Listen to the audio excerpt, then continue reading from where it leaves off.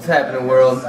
Patrick Ronald here, fieldoteams.com. Uh, I just wanted to let everyone know in the world that Bill Self and the Kansas Jayhawks just fucked me.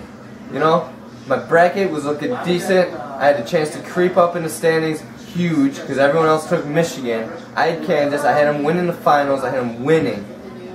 They blew a 14 point lead with somewhere like a minute and a half left, or even an 8 point lead with like a minute 12 so disgusted. Last play of the game, guy drives in, has a wide open layup, down by two, dishes it out to a guy that throws up a basically half court prayer. What the hell are you doing? You're college basketball players and you suck. Andrew Jacob.